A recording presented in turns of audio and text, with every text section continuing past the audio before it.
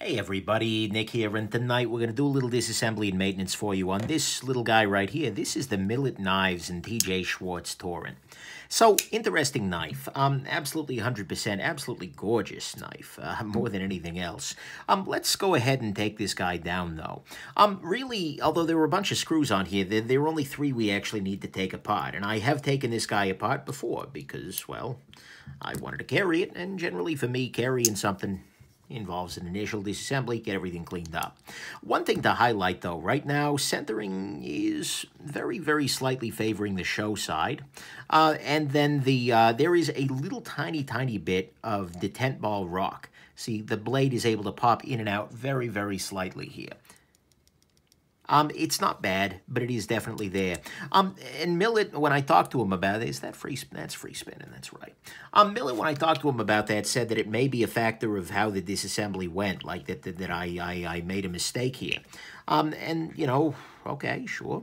So I want to get a you know make sure that we uh, whatever mistake I made that I don't make it again. I think this side wants to turn, so I'm gonna go ahead and let this side turn. I don't know what that means necessarily. There we go. Okay, so pivot is inserted from that side. I think if I recall, yeah, this is T8 too, which is great. And then this guy is also T8. So universal screw size on the knife, can't argue with that. Right there, I hereby absolve them of their sins for the free spinning pivot. If only I could make money offering absolutions for the knife community. Alrighty. Uh, moving along. Sorry, guys, going down a weird mental path there. So, um, what we can see here is that on the inside, pretty straightforward knife. Um, a couple of things to highlight, though. There's that. Um, this guy is using a very interesting thing. This is a camming lock bar insert kind of thing. So basically, if you wanted to loosen these two screws and then turn this guy, you would move very slightly the position of this lock bar insert, and that would in turn affect the lockup of the knife. Um, I am not going to do that because this knife is locking up just fine, no problem. Um, but that's that's something that's a little bit different and it's a little interesting, and it's not something I've seen Actually, it's not true. I have seen similar systems before, although generally people cam the stop pin. They'll have like the stop pin be uh, in such a way that you can do that. I think this is the first time I've seen a lock bar insert that'll do that. Is it a great idea? I don't know. Um, honestly, I tend to feel like any of those little subtle adjustments, although I'm sure they make sense from a manufacturing perspective, making it easier to mate the uh, blade and whatnot, those things tend to be a, a, point of failure. It's something that if comes uh, if it comes unscrewed, uh, can potentially make the, uh, the, the, the, knife less safe or uh, make it cease to lock up or something like that. So if you're ever, if you've got a torrent and you notice that, you know, suddenly you're getting weird things like 100% lockup or, uh, you know, huge vertical blade play, uh, then that, that may well be what's going on for you there. You may need to tune that little insert uh, a little bit, which, eh, whatever. Pop that in there. You can see they've milled in a little race for the bearings, which is fine. It's using uh, steel bearings here uh, rather than ceramic, but looks like a ceramic detent ball.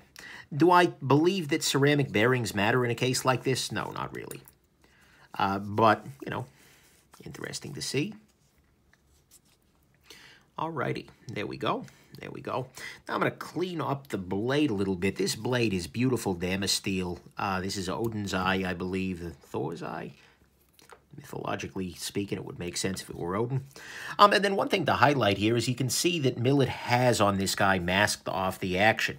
They have masked, ah, masked off the uh, area with a bearing spin, as well as on this side, they've masked off the bearing area. This is great, because when you etch them, Damasteel, uh, or any kind of Damascus pattern welded sort of thing, it will leave slight uh, you know, not imperfections, but it leaves uh, the, the little grooves and whatnot where the pattern shows up. And you don't want that showing up on the uh, on the actual action of the knife because that would feel like kind of scrapiness, scratchiness. Um, that was one of the big disappointments I had. Not big disappointment, but that was a disappointment I had with the Chris Reeve knives, uh, small Sebenza. Uh, I'm sorry, and um, they probably did it for the small Sebenza too, but for the uh, the Mnandi I had in Damascus steel, Um, there, they didn't mask off the uh, the action area, and as a result, when you uh, closed the knife, it felt like, you know, you, you, you're dragging it across the Damascus, and that wasn't so swinging. Kind of surprising for me, actually. Um, so we're actually pretty much all done here. So what I'm going to do is put a little bit of, uh, give this a little love on the, uh, on the pivot here. Using a 10 weight nano oil here at a little pen applicator. And I'm going to give, uh, so I can just drop this onto here. And I'm going to go ahead and just drop the stop pin in on this side as well. I'm going to go ahead, apply a little bit of lubrication on this side, and I'm also going to add a little bit of lubrication to the detent ball path here. That way, it'll slide nicely. I'm going to go ahead and reinsert the bearing on this side because putting the bearing in is a great idea. FYI, anytime you're dealing with high-end knives, you want to reinstall the bearing. Then finally, uh, we'll put the back spacer in place. Um, and actually, what I'm going to go ahead and do is put this screw here, and I'm going to put this screw here. That way they're both in position. Then I'm going to slide the back spacer onto these screws.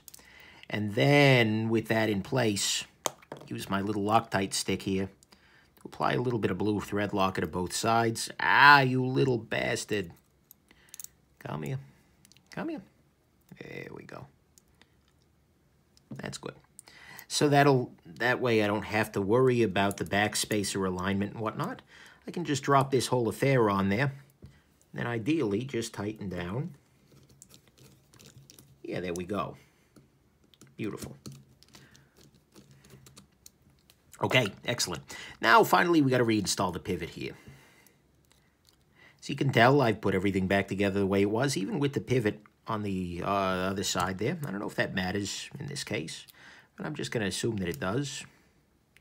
All right. Come here. to make sure I'm not cross-threading anything. Come on. Pop in there. Go home. That's very strange. This just does not want to seat right. Okay, that's a little better. What I did is I used my finger underneath there, and I'd show you, but working in three dimensions, and I'm not entirely comfortable with it here. The enemy's gate is down, so to speak. Um, uh, that's an Ender's Game reference. But I, I, I popped the, the, the lock bar loose there, just to try and give me a little bit, uh, you know, one fewer degree of freedom, uh, so that it could, you know, drop, well, I guess one more degree of freedom so that it could drop into position. Good lord, man. Okay, let's try this again. That's a really weird-looking screw, actually. Weird. No wonder it doesn't want to see right. All right, whatever. There we go. I think that's in, but because it's free spinning, it's hard to tell. Oh, free spinning screw. Let's go ahead and tighten the pivot with this guy closed up. There we go. All right, so that's tightened down. Not cranked too much. No play. That's good. That's a little cranked. Let's back it off a little.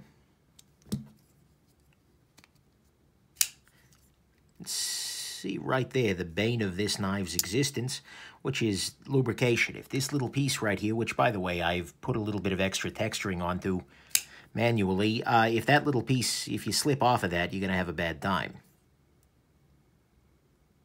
Okay, no play in either direction, which is good. A little detent ball play. Yeah, he said to kind of make sure everything seats properly.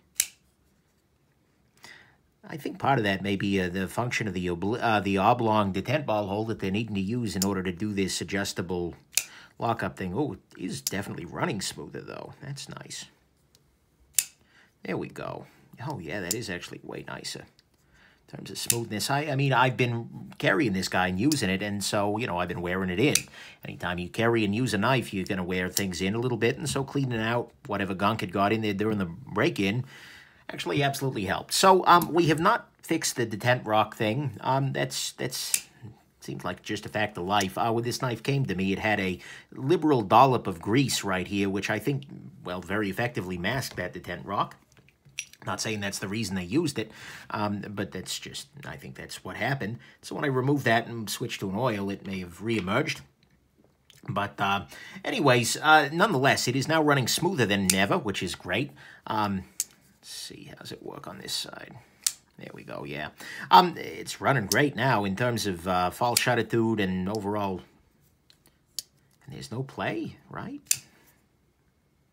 Oh, there's a little bit of play. Let me crank that in a little bit more. Each time you do, uh, you know, especially before the Loctite has a chance to set. Uh, oh, it's free spinning, of course. Before the Loctite has a chance to set, sometimes flicking it itself can back things out a little bit. Tighten that just a smidge. There we go. Yeah, we're back to no play. Oh, yeah. Actually, Ah, nah, it's still there. All right, fair enough. Either way, um, hope you found this interesting, and uh, there you go. Hope I just said that.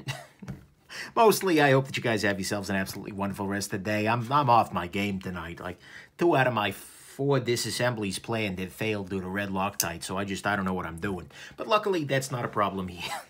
have a good one, everybody. Bye now.